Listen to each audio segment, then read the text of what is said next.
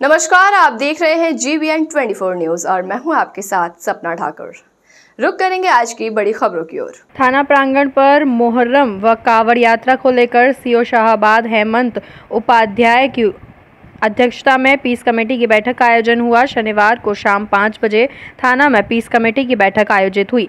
बैठक में क्षेत्राधिकारी हेमंत उपाध्याय ने कहा कि डीजे मानक के अनुसार बजाएँ सभी लोग त्योहारों को आपसी प्रेम, सौहार्द और शांतिपूर्ण माहौल में मनाएँ। शांति व्यवस्था में बाधा डालने वाले अराजक तत्वों के साथ कड़ाई से निपटा जाएगा। इसमें किसी भी प्रकार की लापरवाही बर्दाश्त नहीं की जाएगी। जीबीन ट्वेंटी न्यूज़ के लिए पुनीत सिंह पटेल की रिपोर्ट।